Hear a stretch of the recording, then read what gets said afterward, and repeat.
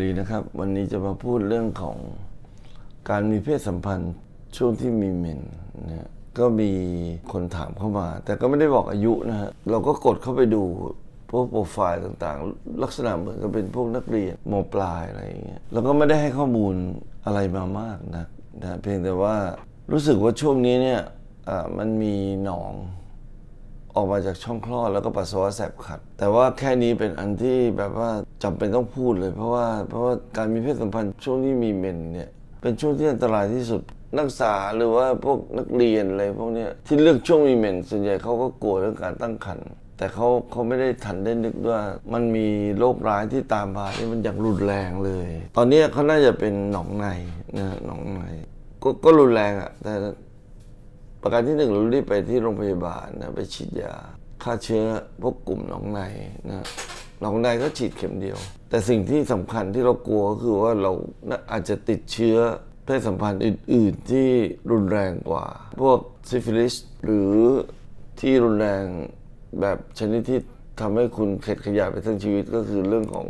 HIV positive นะซึ่งซึ่งมีโอกาสที่เกิดขึ้นได้ ซึ่งถึงแม้เราจะคิดว่า หนุ่มๆสมัยนี้เขาคงจะไม่เป็นอย่างนั้นแต่ว่าไม่ใช่ คือคนสมัยนี้มีเพศสัมพันธ์เป็นคู่นอนไปเรื่อย เพราะฉะนั้นเขาก็จะไปรับเชื้อมา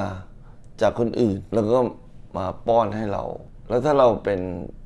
HIV positive ในช่วงนักศึกษา เราก็ต้อง รักษาค่อนข้างจะไม่รู้ว่าตลอดชีวิตอะชีวิตเราก็ดับศูนย์ไปเลยนะในเบื้องต้นก่อนเรื่องของตอนที่เป็นเนี่ยก็น่าจะเป็นของหนองในหนองในนี่ก็ไม่ใช่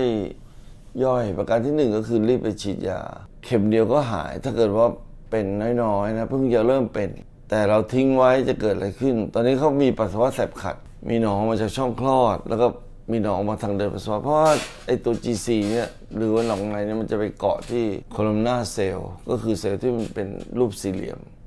มีบ้างในบางส่วน เช่นในในปีกมดลูก แล้วก็ในท่อปัสสาวะ เพราะฉะนั้นหนองก็จะหยดเข้าไปในท้อง คนไข้ก็จะเกิดการติดเชื้อในอุ้งเชิงกรานพอเราเกิดการตั้งครรภ์ขึ้นมามักจะเป็นท้องนองมดลูก แล้วก็ต้องตัดท่อนำไข่ทิ้ง หรือว่าเราไม่กล้าไปโรงพยาบาล ก็เกิดการติดเชื้อในอุ้งเชิงกรานแบบรุนแรงทำให้เกิดท่อนำไข่แล้วก็ตัวหลังไข่ทั้งสองข้างเนี่ยเป็นหนอง ต้องนอนโรงพยาบาลเนี่ยสามวันอย่างต่ำให้ยาฆ่าเชื้อ แล้วก็ให้ยากินกลับไปอีกรวมแล้วประมาณ 14 วันอะทั้งหมด นะทั้งนอนโรงพยาบาลแล้วก็กลับบ้าน แต่ผลที่ตามมานี่โอ้โหมหาศาลนะ